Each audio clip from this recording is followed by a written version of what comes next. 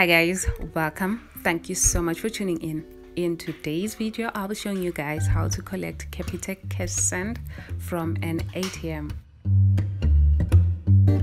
so to collect your cash you're only gonna need two things. You're gonna need a reference number and a secret code that is normally sent to you privately by the sender. Okay, this cash can only be collected from a Capitec ATM. So without wasting any more time, let's get started.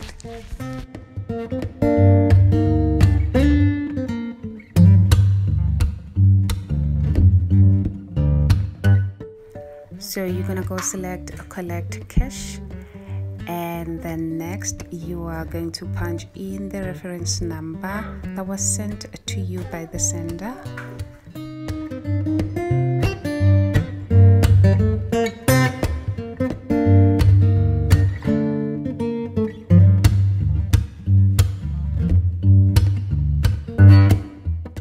and then up next you go ahead and punch in your four digit secret code that was sent uh, to you privately.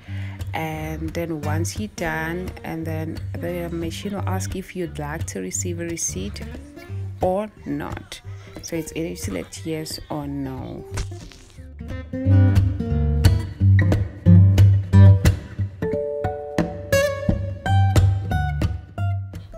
there you have it guys. Very simple. I hope this video is gonna help someone out there. Please don't forget to like comment and subscribe to this channel. Thank you. Bye.